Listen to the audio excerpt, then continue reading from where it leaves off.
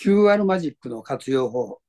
えー、QR コードというのは一つの QR コードから一つの URL につながるんですね。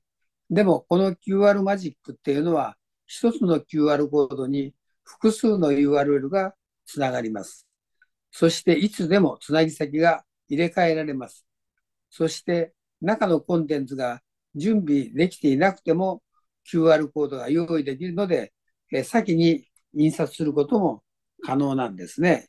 そして私たちはスマート印刷館というのを商標登録を取りました。例えば名刺から動画で自己紹介のプロフィールが出たらどうでしょうか。チラシから通販サイトに来て、えー、そこで注文して、えー、決済までできたらどうでしょうか。ポスターでチケットが購入できたらあどうでしょう。パンフレットに、え、地図に、マニュアルに、カレンダーに、印刷物と、えー、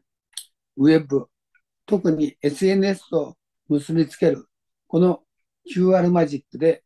地域にの活性化をしませんか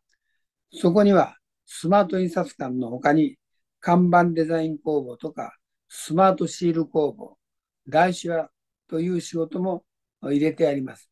えー、詳しくは QR コードの中で、えー、ご説明があしていきたいと思います。ぜひ皆さんの地域でも